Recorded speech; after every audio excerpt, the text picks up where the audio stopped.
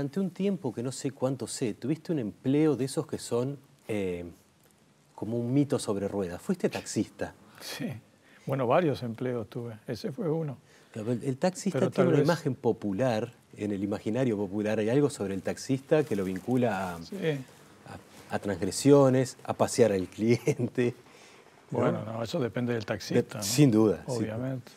Pero no, no, yo estoy en contra de ese mito del, vivo, digamos, el, pícaro, no, no, no es así. Habrá alguno, por supuesto. ¿Qué coche manejabas? Un Passat, Volkswagen Passat. Estamos hablando entonces que fuiste, que habrá sido principios de los 80. Del 82 al 84. ¿Te acuerdas de algún viaje en particular? Porque a veces el taxista le toca un viaje de 10 cuadras, 15, y a veces de repente sube alguien y dice, tengo que ir a Salto. Sí. Bueno, no, lo más largo pasa es que el taxista trabaja dentro de los límites de Montevideo. No salís de Montevideo. Lo más lejos puede ser, suponete, ir a Melilla o ir a, yo qué sé, a Manga o algo así. Pero una anécdota que recuerdo, y va en contra del mito ese de, la picardía del taxista. Una vez levanta, no me acuerdo qué barrio, una señora, una señora mayor, entonces sube, dos te voy a contar. La primera, sube, me dice una dirección que era por yo qué sé, por el, por el cordón, por Magallanes y Rodó, ponele por decir algo. Llegamos y me dice, ay, joven, ya vengo, entro a casa a buscar el dinero. Entonces se metió en un edificio de apartamentos de esos que son para adentro, así, ¿no? Muchos apartamentos. Y pasaba el rato, pasaba el rato. Y no volvía. Nunca volvió. Y yo miraba el edificio, claro, ¿dónde se habrá metido? No? Eran, no sé, 20 apartamentos. Antes de rastrearla. Nunca más volvió. Esa es una. O sea, la pícara era ella. y después este otra vez, que me llamó la atención también, una señora también, mayor, igual que esta otra, a las 2 de la tarde, una cosa así, que es la hora que abre el casino. El casino me dice, porque rodó son esas personas ludópatas, ¿viste? Ah, enfermas, fanáticas, que están esperando que abra. Aparte llegamos y todavía estaba cerrada la puerta. Ella se bajó y se puso así a esperar a que abriera, porque era la primera en llegar. Se ve que todos los días iba. Tendría su maquinita, juego siempre acá. Seguramente. Su butaca.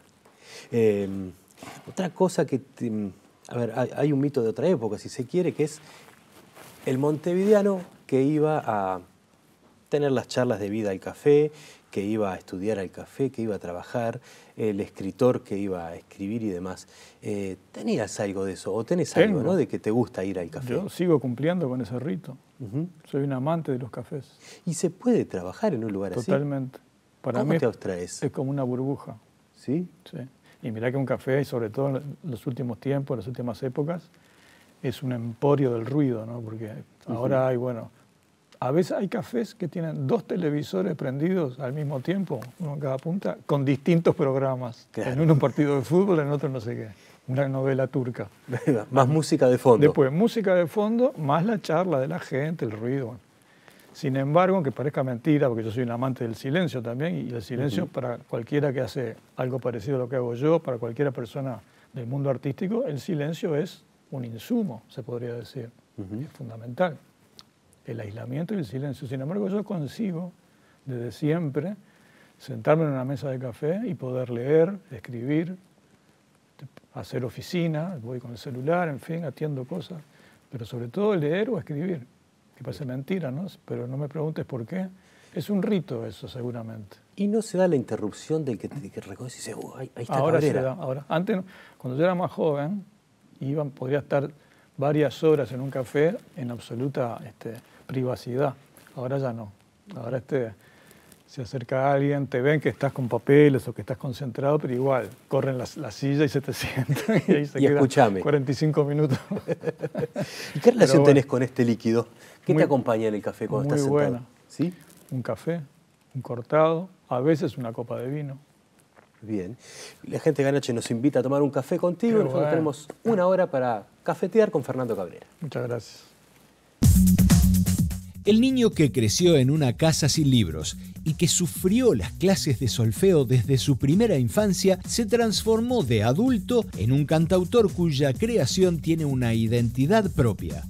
Tal vez porque la arma con la misma curiosidad con la que recorrió el país durante su adolescencia y con la seguridad del mecánico que sabe que cada pieza tiene su función y su lugar. Hoy tomamos un café con Fernando Cabrera. Con el taxi en Montevideo era una vida independiente, eras vos solo trabajando, pero te trillaste el interior con tu padre, vida de, Antes. de camionero, digamos. Eh, ¿Qué hacían? Mira, yo tuve la fortuna, se puede decir, de que mi padre, después de muchos años de trabajar en el mundo, siempre vinculado al, al mundo automotor, ¿no? Primero de joven fue mecánico, después se empleó en distintas casas, en la representante de Mercedes-Benz de aquella época, este, era un mecánico, es un mecánico, ahora ya está, está, muy mayor mi padre, pero es una persona muy fina, de, de, una motricidad hermosa. Sus manos son, son, unas manos muy delicadas, sin embargo es capaz de desarmar un motor de un camión y armarlo y lo que sea, ¿no? Es un experto. En un momento de su vida le dio, porque él tenía el metejón ese, de tener camiones.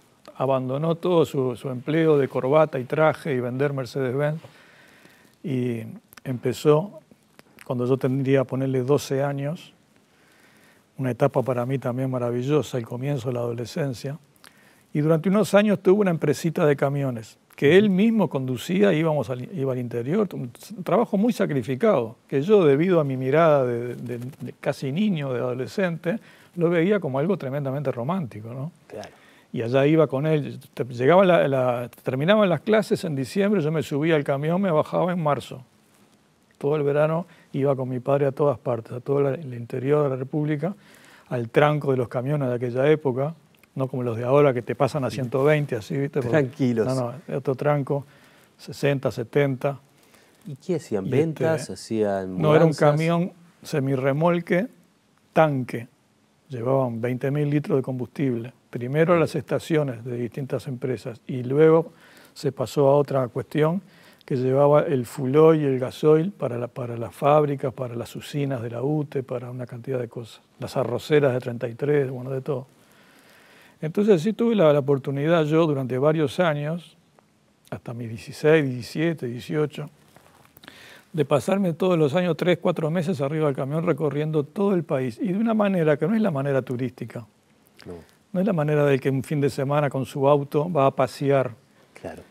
Es otra manera, se va por otros lados, se para en otros sitios, es otro ritmo, se re, uno se relaciona con otro tipo de personas, colegas del mundo de los camioneros, los bolicheros del borde de la carretera, hoteles sencillos, económicos, que a veces parábamos.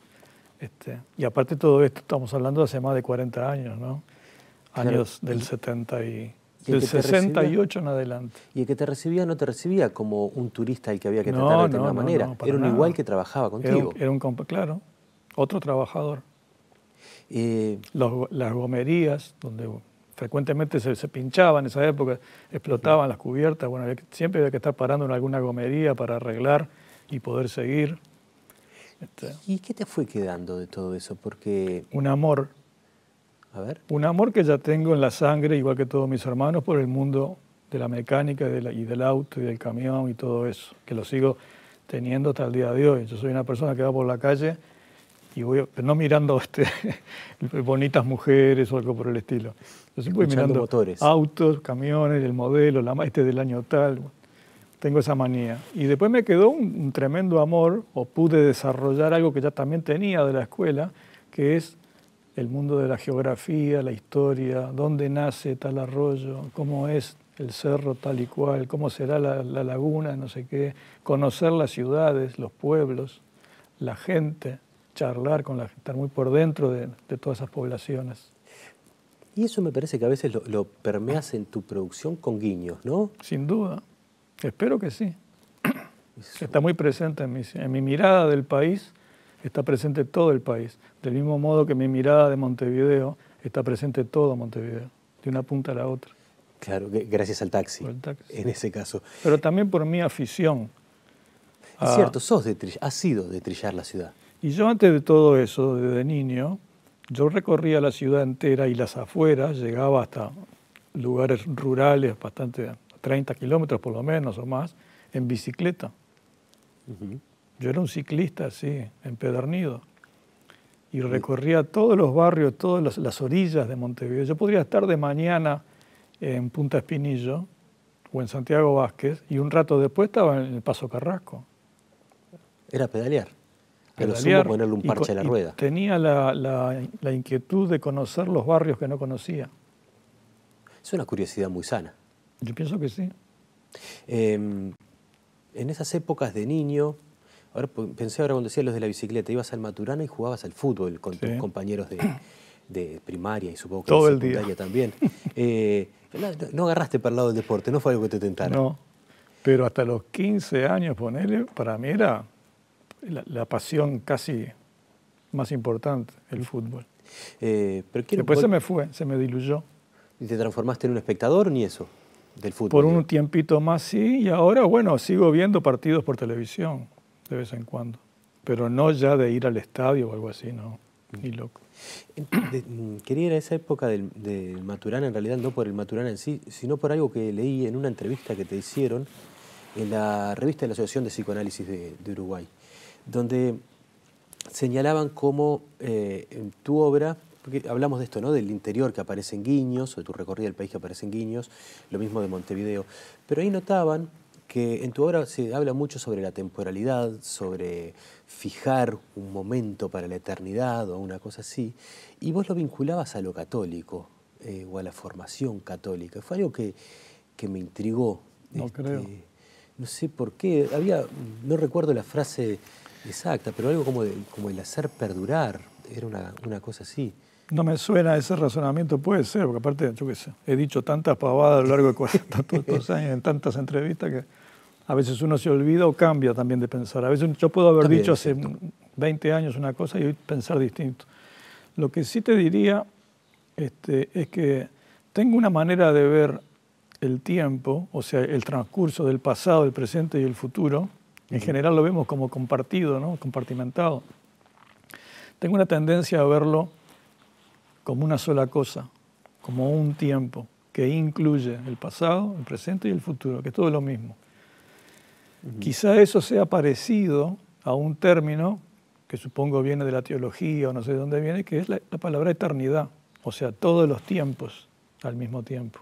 Si mal, no recuerdo el concepto de eternidad, creo que es algo así, ¿no? Claro. Y yo tengo esa tendencia, pero aplicado, o sea, bajando un poco el plano de, la reflexión, este, yo convivo, vivo siempre con lo que me pasó, está presente en mí. Creo que a todos nos pasa. Claro sin duda, es lo que nos formó, lo que nos hizo. Llegaste acá por tu experiencia de vida. Exacto.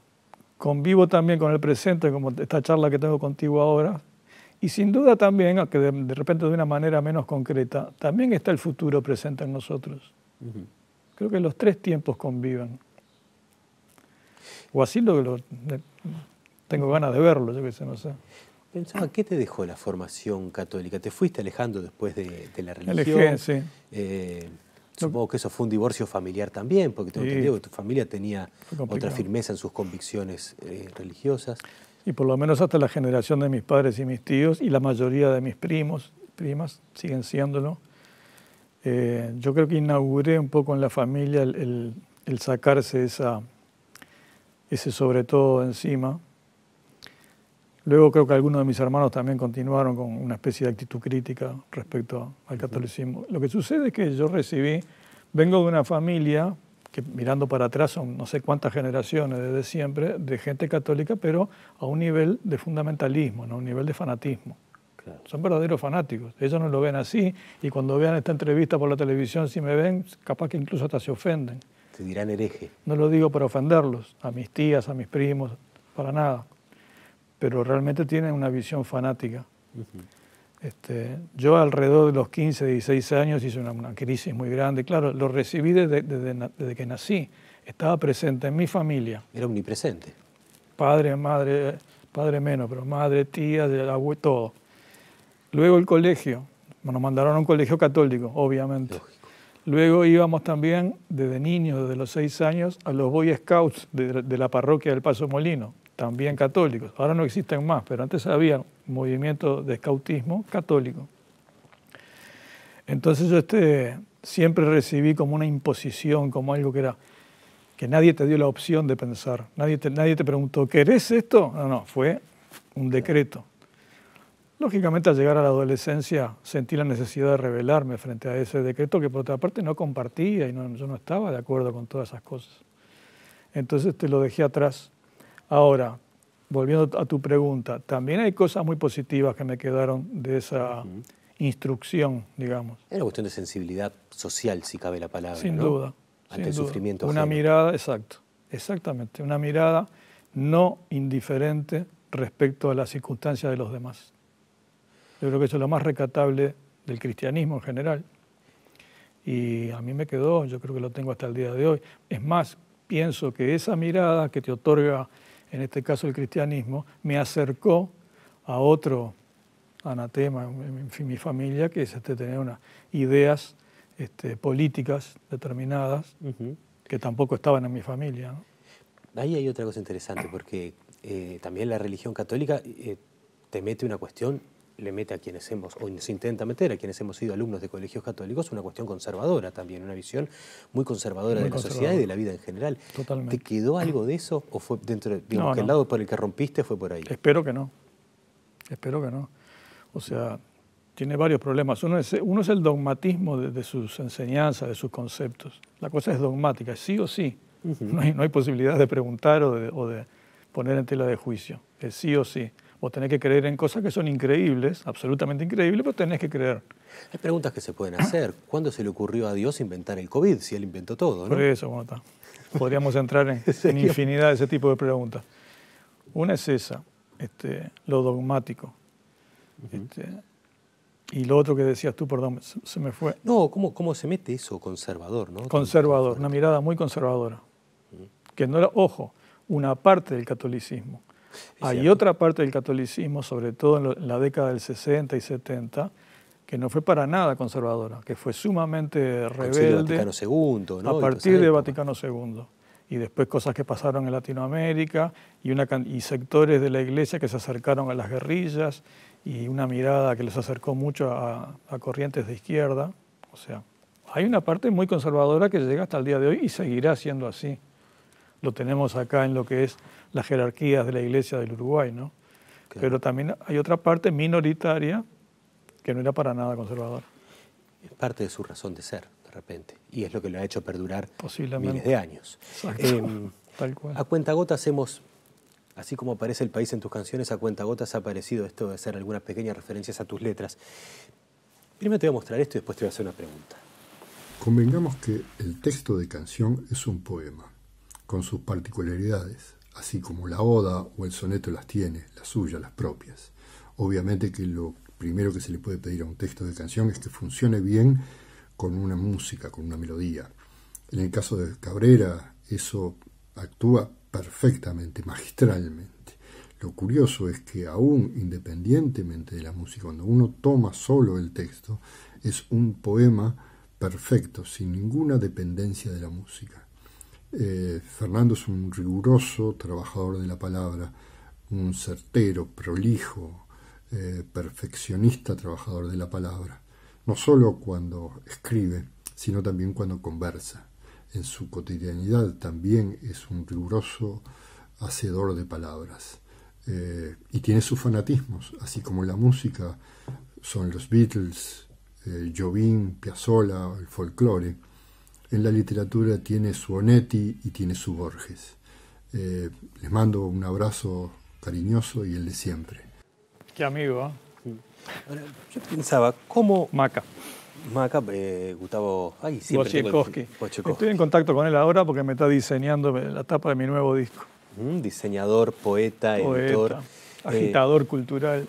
¿Cómo llega un gurí que creció en una casa donde no había un solo libro, que recibe por primera vez un libro a los 11, 12 años y es además el Martín Fierro?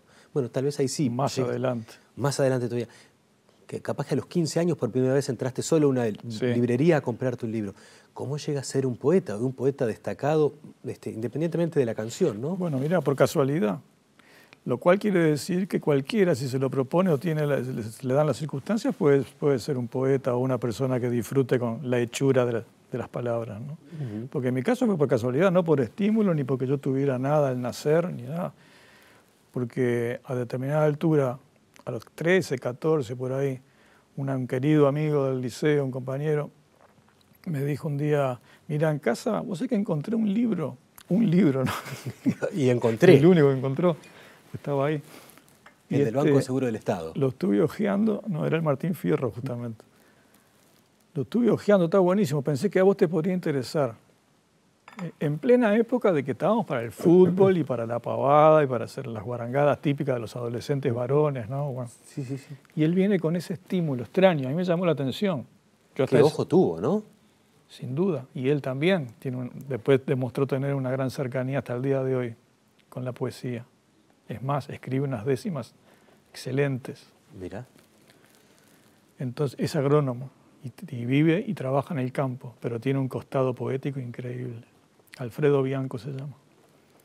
Entonces me prestó ese libro, Martín Fierro. De hecho, yo lo ojeé, lo leí y me enganchó. Hubo algo ahí en Hernández, la maravilla que es Hernández, ¿no? Esas sextinas, sextillas. Hubo algo que me enganchó. Entonces me quedó un poco la motiva en fin, la curiosidad de seguir leyendo. Era la primera vez que yo leía un libro que no fuese la obligatoriedad del estudio, del liceo, de la escuela, ¿no? Primera vez. Salvo alguna revista que había en casa, yo qué sé, mecánica popular. Esas cosas que caían de rebote. Bueno, no, claro, ahí era oficio. Oficio, o Corsa, o Parabrisas, revistas de, automovilismo. Todo. La rueda y yo. Algo así. Entonces, bueno, me quedó la curiosidad. Entonces se me ocurrió, voy a, buscar algo parecido para seguir leyendo, para, digamos, renovar este placer que me dio esto. Entonces fui a la librería en el Paso Molino de Barreiro, Barreiro y Ramos. Barreiro y Ramos. Abajo no estaba el viaducto todavía, ¿no? Hoy sería ahí cerca, de la vía, abajo del viaducto. Pero ahí no había viaducto. Agraciada era toda una, una avenida subía hasta Belvedere toda empedrada. Después le pusieron asfalto. Entonces fui a Barreiro, miro en la vidriera, un poco así, y vi, una, me llamó la atención la, carátula, sin conocer el autor ni nada, porque sabía que tenía algún motivo tipo gauchesco o algo así. Y era, se llamaba Tacuruces, de Serafín García. Serafín J. García, poeta 30, 33 Lo compré. Yo tenía algún dinerito, había juntado unos pesos y fue mi primer compra de un libro que no fuese un libro de texto para el estudio. Y también me gustó, siendo que era muy diferente al Martín Fierro, nada que ver. Ni la técnica, ni la temática, ni la escritura, nada. Muy diferente. Me encantó Tacuruz. Donde está el famoso poema que después los olimareños musicalizaron, Orejano, y tantos otros. Y bueno, así comenzó. Luego seguí comprando no sé, viste, Javier de Viana, yo qué sé, Acevedo Díaz, este, cosas así, todo relacionado con lo gauchesco. Te volviste nativista casi. Nativista. Hasta que un par de años después ya estaba yo en lo que hoy sería quinto, antes se decía preparatorio, se le decía a los dos años de bachillerato. Después de cuarto venían dos años que vos ya elegías, humanísticos o científicos, ¿no? la orientación. Yo fui a otro instituto, cambié la barra, otros amigos, todo, y ahí me encontré con una barra muy, muy culta, que venían de familias de, intelectuales y de gente que tenía biblioteca en la casa, discoteca, que iban al teatro, etcétera. Para mí fue un mundo así que se me abrió, ¿no? La cabeza hizo. Y todo me atraía, y todo era nuevo. Entonces esa gente, esos muchachos, eran varios. Este, ya leían de todo, filosofía, todo, historia. Ahí me empezó mi afición por la historia también. Y ahí un día uno me presta un libro de Benedetti, Inventario, el famoso inventario que fue sacando varios, varios años, que abarcaba toda la obra poética de Benedetti hasta ese momento. Este era el inventario 67, había sido publicado en el año 67, acá estamos hablando de cinco años después. Y bueno, otro asombro de ver cómo la poesía no era solo gauchesca. Claro. O sea, hay entre otros temas. ¿Cómo podía hablar de lo pasado en oficina, en la ciudad? Claro, la ciudad, otro pulso la ironía, yo qué sé, una cantidad de cosas que tiene Benedetti, ¿no? que para mí también fueron puertas que se abrían de todo punto de vista, temáticas, de inquietudes. Me pidieron que cerrara el bloque, pero me queda una cosa ahora que pienso. eh, y que le quiero preguntar ahora porque le hace a todo esto que venimos hablando. Me parece que te, te has acercado como lector eh, a la literatura con la misma pasión que el mecánico, con la misma lógica que el mecánico al motor. Yo creo que deconstruís y que después cuando vas a construir tus letras, te pones a jugar cambiando las piezas del lugar, probando si, si eh, no sé, ¿cómo es que llama esto? Si dos pistones acá, cuatro en el otro lado, si los cilindros, si en B8, si B12, si no sé qué, ¿no? Es cierto. Es como desarma y arma. Sí, tal cual. Es así y una de cosecha absoluta. Esto es una duda de, oyente de Cabrera y, de lector por otro lado. Agua, que es una letra tuya de, muchos años y demás, siempre me hizo acordar a uno de los pocos poetas que me gusta leer, que es Oliverio Girondo. Ah, mira. Y a, un poema que se llama Es la baba. No por, por la baba y el agua, sino por la forma de repetir el agua que y arrancar. Girondo ahí arranca con Es la baba que y va, y va perpetuándola. Sí, es un procedimiento muy común en la, literatura, ¿no? No es que lo inventó Girondo, es... No, ni que hablar. Pero al que llegás de esa manera, con las ganas de jugar a ver qué pasa si repito, por ejemplo. No sé qué decirte. Me parece que, por un lado, facilita, es una herramienta cómoda. Después también tiene su desafío, tiene su parte de, juego desafiante. Que no quede como una redundancia insulsa. Exacto, sí, yo qué sé. No sé es un procedimiento. Creo que lo he utilizado en más de una canción. Tiene un nombre incluso, que no sé cuál es. Esa técnica, cuando vos iniciás siempre los versos con la misma palabra, con la misma frase y después hay una pequeña variante. Y el siguiente estrofa lo mismo y el siguiente estrofa lo mismo. Tiene un nombre que no me acuerdo. Hay un procedimiento de los programas que es hacer una pausa, así que ya seguimos. Hagámosla.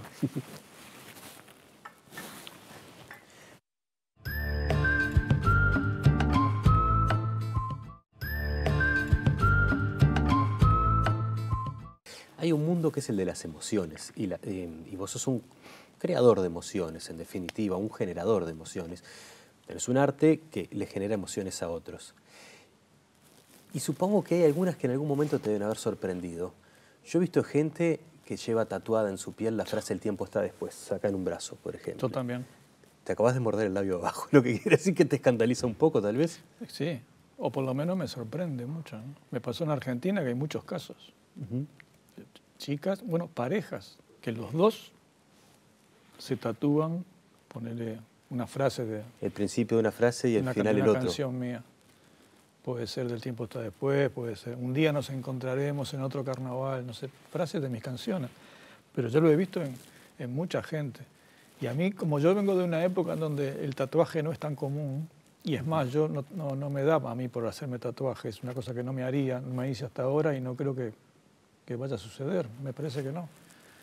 Porque me gustan este, las cosas originales, como vienen de fábrica. ¿Viste los autos cuando los tunean? A mí no me gustan tunearlos. Cuando les cambian, les modifican. A mí me gusta como fue hecho de fábrica. Y sobre todo es una modificación irreversible.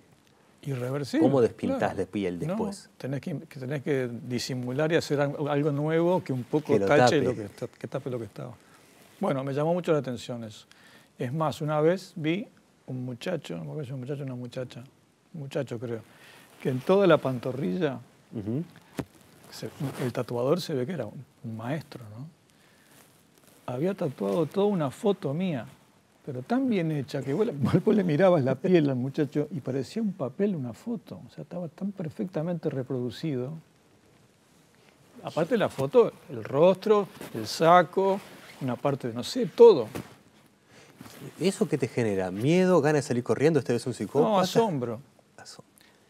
Un psicópata no, porque ya es común esa práctica. Claro. Ahora, hoy en día, ¿quién no se, no se tatúa?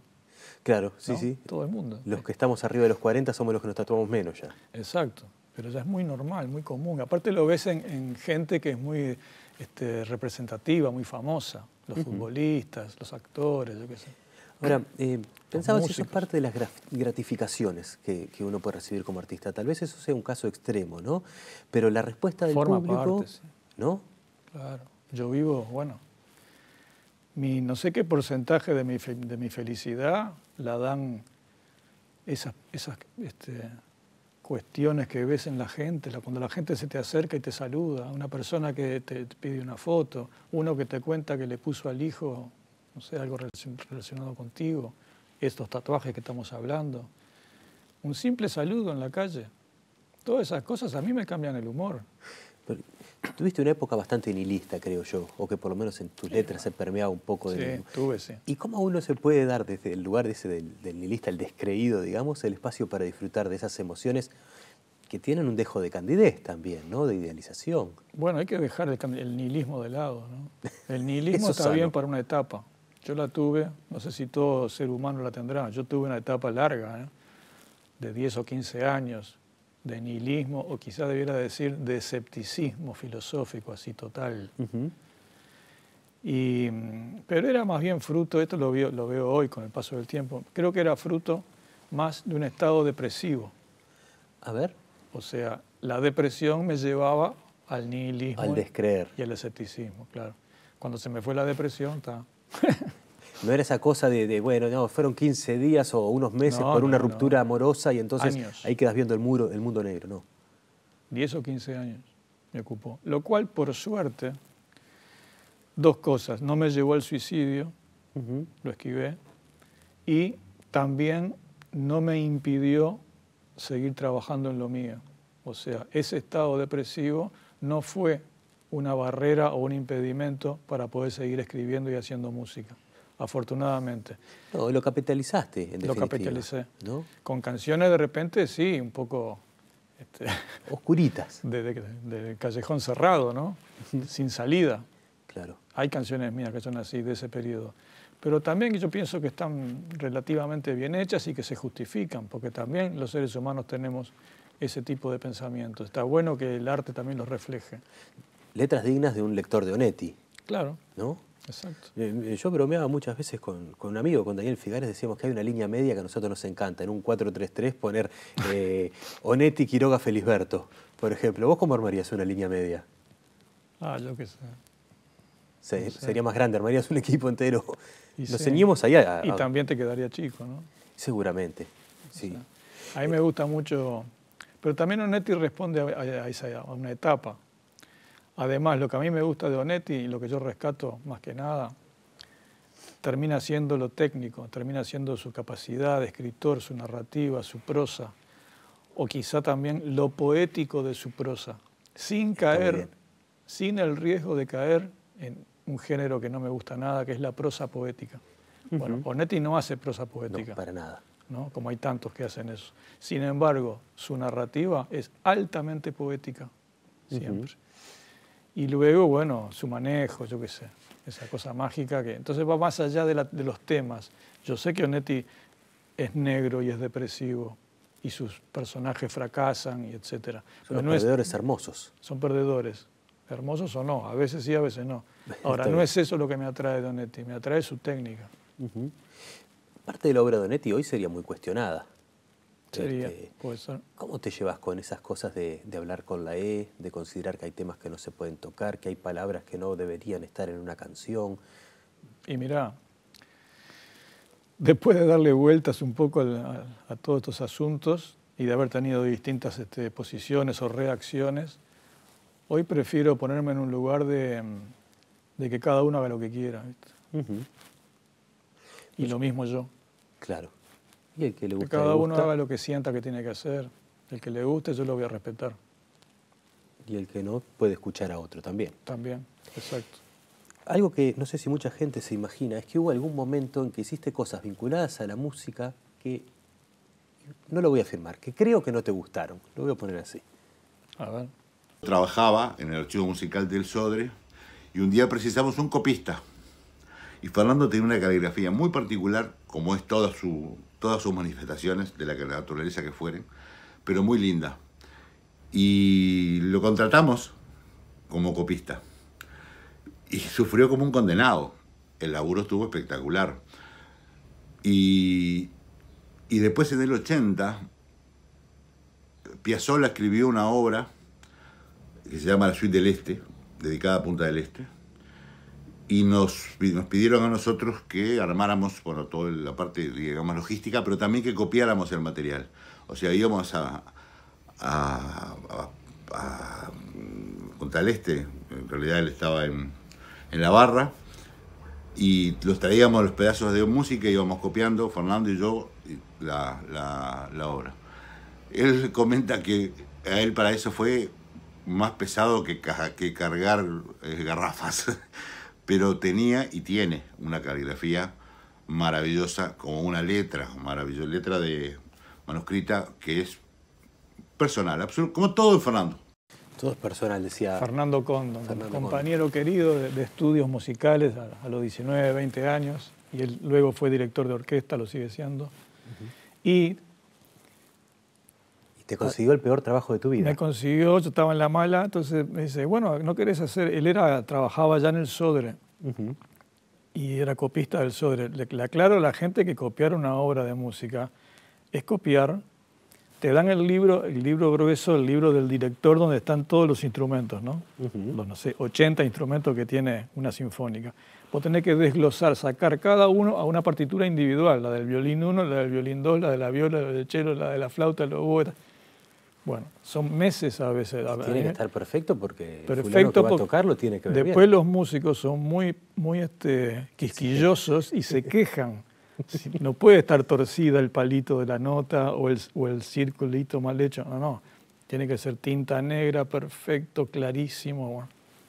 Ahora, copiar una sinfonía, no importa de quién, te puede llevar tres meses. Dejas la espalda en eso. Yo estaba horas y horas durante el día pasando una, una sinfonía.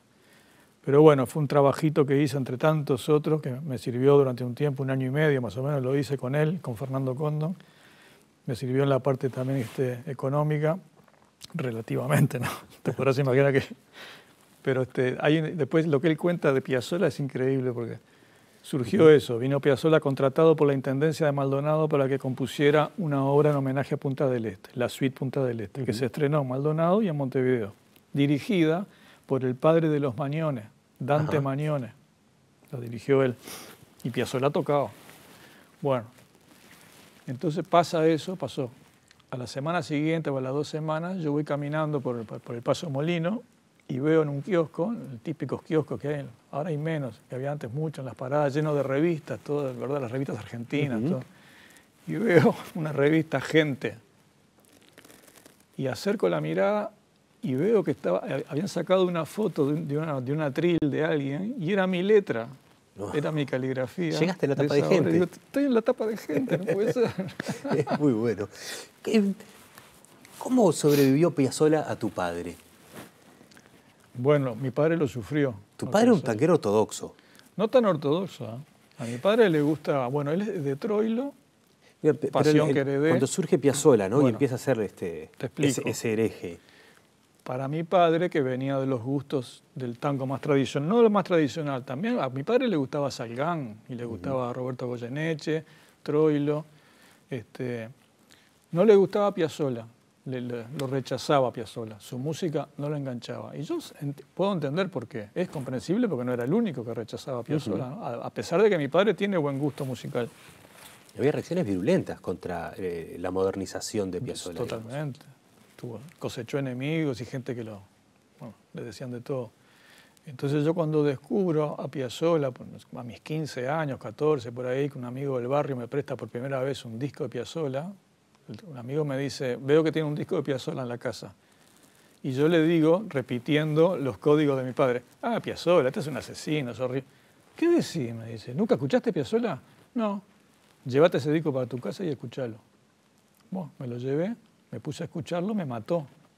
Fue para mí un descubrimiento como los Beatles, una cosa que te cambia la vida. Entonces no paraba de escucharlo todo el día en mi casa y pasaba mi padre y me decía, pará, pará, con eso, basta, por favor.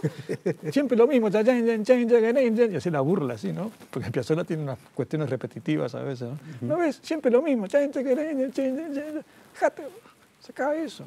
Y yo pasaba el día entero escuchando eso. ¿Te sedujo? ¿Hubo algo ahí que te, me mató. Que te voló? Me mató. ¿Tuviste chance después de tener, este, no sé, capaz que cuando fue esto de, Punta del Este o cosas así, de tener algún intercambio con él? De... Sí, bueno, lo vi en vivo cinco veces.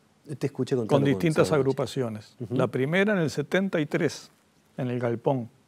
Vino con, su formación del quinteto más alucinante de toda la historia. Con, bueno, Osvaldo Tarantino en el piano, Agri, el violín, por supuesto, Malvichino en guitarra eléctrica, Quicho Díaz en contrabajo y él. Después lo vi cuando vino dos años después al Solís con un grupo que armó electrónico, modificó todo, cambió de músico cuando se fue a Europa. Después lo vi con el nuevo quinteto en el año 82, que lo trajo Joven Tango acá. Quinteto con nuevos músicos. Lo vi en esa ocasión de la que tocó la, su obra sinfónica. Y por última vez, unos meses antes de que se muriera, en el 89, pasó por acá con otra formación distinta, el sexteto, que tocaba el, maravilloso pianista y compositor Gerardo Gandini, en el último sexteto. Una maravilla. Yo estaba en el Solís parado así. Como yo creo que me colé, si mal no recuerdo, pero aparte en esa época yo ya conocía, los, em, antes de la reforma del Solís, ¿no? que tenía Hay delitos que están bien, ¿eh? Las puertas por el costado, sí, sí. Entonces yo estaba ahí mirando, llorando todo el concierto, llorando todo, no podía parar de llorar. Conmovido, absolutamente. Conmovido, con la música. Porque fíjate que Piazzolla no tiene letra, no es que te, no es que te conmueve el poema o una cosa así, no, no, es el sonido, la, vitalidad, la fuerza de esa música tocada por, en esa altura ya por viejitos. Vos mirabas el escenario, Bragato en el chelo, gente de 70 años, todo vestido de negro, y hacían una música que, pero que te volaba la cabeza, de energía, de fuerza, de, de brillantez, de calidad. Entonces, antes de empezar el concierto, yo que conocía los vericuetos del Solís y eso, me colé a los camarines. Por un pasillo del costado así, abro la puerta y me metí. Entonces entró al camarín y estaban ellos esperando para entrar. Este, veteranos, ¿viste? No lo podía creer.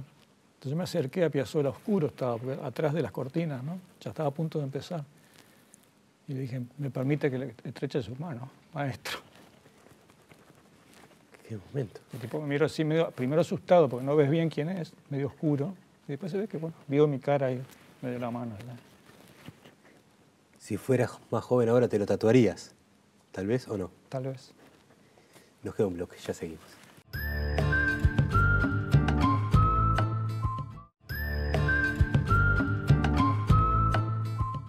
Me queda musicalmente una pregunta para hacerte. Capaz que puede tener algún parentesco con lo que hablábamos, o te decía sobre la letra, ¿no? Cómo te acercás y desarmás y armás. Me parece que haces lo mismo con tu voz, que, la movés, la manejás, casi como si fuera algo externo a vos. Sos este, un director cruel de tu voz. La exigís para acá, para allá, y cuando se acostumbra a jugar de una manera, se la llevas para otro lado. Eh, ¿Hay algo de eso? ¿Jugás? Es un instrumento más. Tenés canciones que tocas una nota y después son segundos que tu voz mantiene la música. Sí. Este, bueno, entiendo lo que decís, pero, creo, creo que la explicación es más sencilla. A ver. Que es una inquietud mía, un intento, que por lo que vos me contás parece que de algún modo lo he logrado, o en parte lo he logrado, que es trasladar al canto las inflexiones y, las subidas y bajadas y la expresividad del habla, de cuando hablamos. Porque yo se ve que alguna vez reflexioné, cuando hablamos, nos dirigimos a alguien, es casi permanente que estemos cambiando de entonación, de volumen, de registro. No es lo mismo decirle algo a alguien con ironía que decirle algo a alguien con ternura, no es lo mismo susurrar al oído que gritar un gol, no es lo mismo estar en un parque y pasa tu primo allá a 200 metros y vuelve ¡eh, vení! Y no es lo mismo hablar entre dos amigos en un café. La voz va cambiando siempre en función de lo que quiere decir y, y en qué lugar esté. Entonces empecé a pensar que estaría bueno al cantar, y no que fuera un acto tampoco así racional, ir con el tiempo, muy lentamente incorporando esa naturalidad. O sea, llegar al punto en que yo cantara sin pensar, ¿no? O sea, de la misma manera que hablamos, porque además agrego otra cosa, cuando hablamos no pensamos. Vos no pensás, ah, ahora voy a hacer un énfasis, ah, ahora voy a, a sonreír, ahora voy a gritar. No, ya viene directo, natural. La voz expresa el pensamiento de una forma muy natural. Y yo me, propuse que con el tiempo, no, a la fuerza, que se fuera dando solo, tratar de llegar a cantar con la misma inconsciencia de cuando hablamos y a la vez que la cosa sea expresiva, que, que, la voz se ajuste a cada palabra, a cada frase, a lo que dice el texto, a cómo coordina con la música. Es eso. Y, soltarla, soltar, olvidarte de que sos un cantante, de que tenés que la, esto, lo otro hablar cantando o cantar hablando, algo así. O sea que no sos ese director déspota de tu voz que yo me podía haber imaginado, sino que más bien sos alguien que le está dando libertad absoluta a su voz. Exacto. Pero claro, protagonismo. también tengo un periodo muy largo de toda mi vida de haber estado siempre preocupado por cantar afinado, por la métrica, por esto. Tengo formación, canté en coros, toda mi vida canté. Esto es una cosa que lógicamente, como pasa en todas las disciplinas, tiene que venir luego de un periodo este, de entrenamiento o técnico. O, o sea, vos después que experimentás y aprendés, podés soltarte. Estamos grabando a fines de septiembre, hace pocos días fue eh, aniversario de la fecha de, muerte de José Gervasio Artigas, que es un personaje histórico sobre el que has leído mucho. ¿Qué te fascina de la figura de Artigas? Yo, por ejemplo, Fermino tú te regaló hace relativamente poco un libro sobre el chasque de Artigas. Sí, muy lindo. Un autor del interior, no me acuerdo ahora qué departamento era, de Roche, a ver, de Roche. De Roche. Muy bueno. No sale el nombre. Un aficionado, no un, no un historiador este, técnico, un aficionado, pero muy bien, investigó y está muy bien el libro. bueno, he, tenido cambios en, mi relación con la figura de Artigas, porque como todos lo tenemos, cuando empieza en la escuela todo, es una cosa edulcorada y, ¿no? Es una imagen muy potente y que tampoco pasa como lo que hablábamos hace un rato de, la religión. Te lo imponen sin preguntarte mucho qué opinás. es, una figura sin matices. Sin matices. Artigas en Uruguay sobre todo para la educación, es un dogma. Dogma que luego muchas veces se traslada a la adultez de la gente y la gente sigue pensando así para toda la vida. Y no hay, no hay crítica, no hay actitud crítica. Entonces a mí, entre otras cosas, entre otras cosas, fue significativo haber llegado a la, lectura de, libros de, Guillermo Vázquez Franco, por ejemplo, el historiador Vázquez Franco, que tiene una mirada muy interesante sobre Artigas, sobre el artiguismo y sobre todo el periodo ese de, de la banda oriental y después el Uruguay, que te lo ubican un poco más en la tierra, ¿no? no como una especie de héroe impoluto al cual no se le puede cuestionar nada, sino como un ser normal de su época, un caudillo de su época, que se manejó con las coordenadas y las pautas lógicas de la vida caudillesca de la época, y este, compró y con contras. ¿Entendés? con cosas positivas y cosas negativas. Me parece que es una, manera sana de ver, no solamente Artigas, toda la historia y todas las cosas que a veces nos meten este, a la fuerza, ¿no? Demasiado pintadas. En realidad, la figura de Artigas tiene desde el Estado uruguayo distintas lecturas a nivel histórico, ¿no? en distintos periodos. En una época fue innombrable, eh, en otra época pasa a ser ese tipo que se pone el busto en todas las escuelas. y de un momento para el otro, violentamente fue ese cambio es una intención de discurso político. Claro, obvio. Y luego los partidos políticos buscan además a veces este, reivindicar su nombre. Todo. Y el ejército también. Y el ejército también. Y logias dentro del ejército también.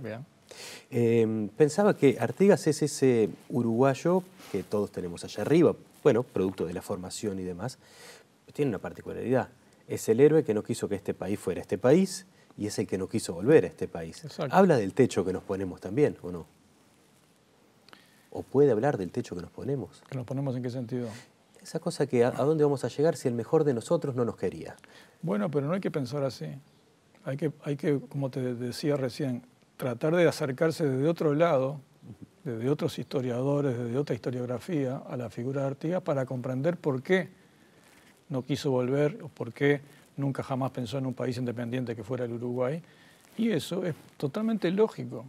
No es ni peor, ni mejor, ni malo, ni bueno es razonable. Pasa que tenemos un acceso a Artigas que es un poco mentiroso. Contaminado. Es contaminado, exacto. Sabes que en el programa siempre regalamos un libro. Este, Me parece muy bien. Sí, con la gente de Estuario, además, este, que tiene un club de lectores, uno del estilo, supongo, de, lo que ha hecho durante muchos años Banda Oriental. Conozco Estuario. Yo soy un fundador de bibliotecas en bares, te aviso. ¿Ah, sí? ¿Y estuviste vinculado a la Fundación de Estuario? No, no, no. no en este caso. Pero bueno, ahora cuando decías otro acercamiento a Artigas, esto es, ahí tiene una colección que es otro acercamiento a la música, o a discos o a distintos artistas. Y, ah, sí. y Martín me propuso regalarte Medio Campo, el libro de Andrés Torrón sobre el disco de... Muchísimas gracias, muchísimas gracias. Se lo voy a mostrar ya primero a Marcos, un segundito. Perdón que te dejé con la mano colgado y ya te lo doy. Este, Muy muchísimas gracias por, por me, la me charla. faltaba leer este libro de Andrés Torronga, aparte que es un músico y un investigador y periodista excelente, y nada menos que sobre, Jaime, sobre el disco Mediocampo de Jaime Ross. Tal vez uno, no sé si el mejor o uno de sus mejores discos, quizá. hoy hablamos de una línea media. Este medio campo justo puede estar en esa línea media de los discos de la música uruguaya. ¿Cómo no? Por supuesto. Y alguno más de Jaime también. Un placer la Muchas charla. por la gracias, ¿eh? visita, Fernando. Gracias por venir. El placer es mío. Gracias. Fernando Cabrera.